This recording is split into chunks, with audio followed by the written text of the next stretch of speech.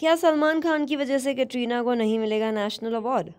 Don't forget to click on bell icon to get all latest updates Salman Khan की film Bharat जल्द ही release होने जा रही है। इस फ़िल्म में सलमान के अपोजिट लीड रोल में कैटरीना कैफ है। इन दिनों फ़िल्म की स्टार कास्ट प्रमोशन में बिज़ी है। प्रमोशन के दौरान कई बार सलमान को ये कहते हुए सुना गया है कि फ़िल्म भारत में अपनी परफॉर्मेंस के लिए Katrina Kaif national award deserve करती है। अपने लेटेस्ट इंटरव्यू में सलमान ने बताया, कैटरीना कैफ को लगता है की उनको नेशनल अवार्ड मिलने वाली बात उन्होंने मज़ाक में कही है। कैटरीना को लगता है की वो इस बारे में मज़ाक कर रहे हैं। उन्होंने सलमान खान ऐसी कहा की, तुम जिस तरह नेशनल नेशनल अवार्ड कह रहे हो, उससे सबको लगेगा कि तुम मज़ाक कर रहे हो। ऐसे शायद मुझे अवार्ड ना मिले। इस पर सलमान खान ने कैटरीना से पूछा कि उन्हें क्या कहना चाहिए, कि तुम्हें नेशनल अवार्ड मिलेगा? और उन्होंने साथ ये भी बताया कि वो सीरियस हैं। लेकिन कैटरीना ने कहा कि जिस तरह से, जिस टोन में सलमान खान नेशनल अवार्ड कह रहे हैं, वो सबको मज़ाक ही लगेगा। और ऐसी कन्वर्जेशन चलती रही दोनों में। सलमान खान कहते रहे कि मैं सीरियस हूँ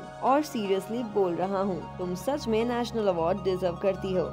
और कैटरीना को उनकी बात झूठ और मज़ाक लगती रही। और उन्हें ये भी लगता रहा कि अगर तुम इस तरह से बोलते रहोगे तो नेशनल अवार्ड मिलने वाला भी नहीं मिलेगा। अब देखना ये है कि इसका असर नेशनल अवार्ड पे क्या पड़ता है। Bureau report Indian film history for more interesting and updated Bollywood news please subscribe Indian film history YouTube channel